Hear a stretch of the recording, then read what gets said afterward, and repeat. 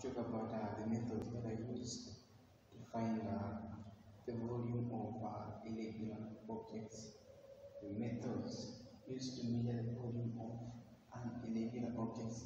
So there are two main methods that are used to find the volume of irregular objects. And the first method is where you use uh, the measuring cylinder, and the second method is where you use uh, the Eureka can, which is also referred to as the overflow can or the displacement can.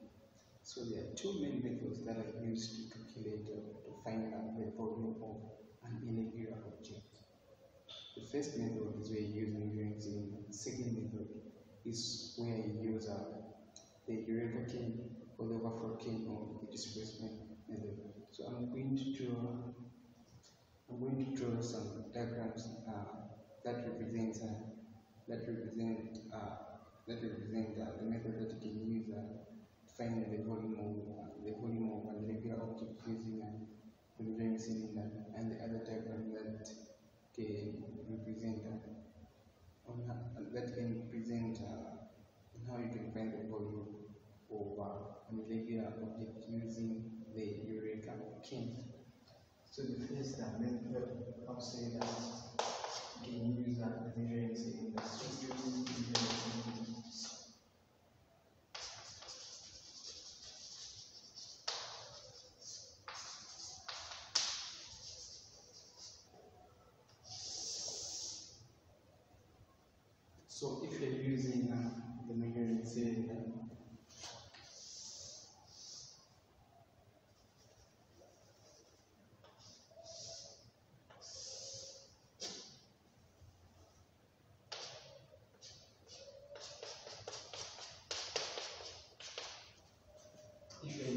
you're using the measuring cylinder, first of all, you're going to they're going to place uh, a non-volume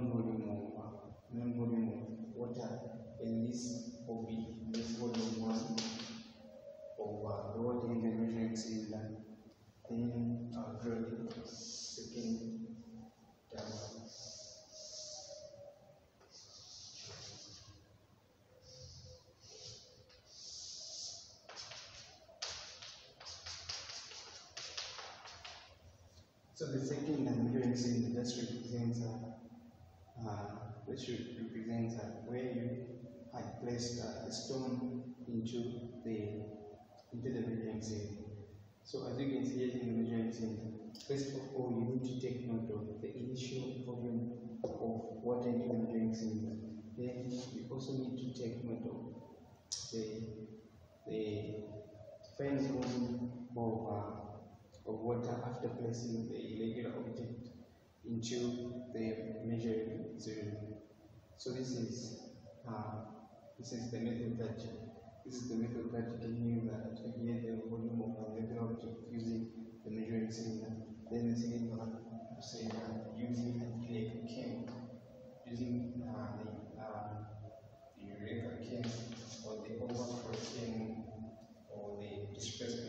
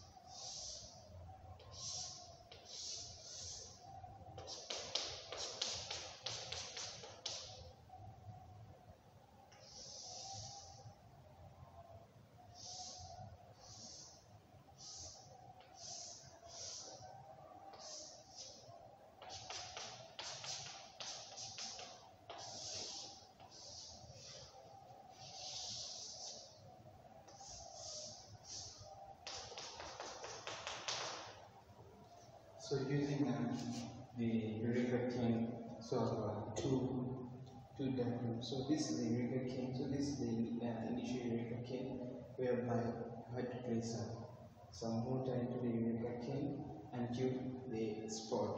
This is to as the spot. Then this second diagram represents uh, whereby you had to get that irregular stone and you had to press it into the river king, and some of the water had to flow into this uh, figure, and you can take note of the volume. You can take note of the volume of, uh, of the stone. So these are the two main methods that you can use to get the volume of an irregular object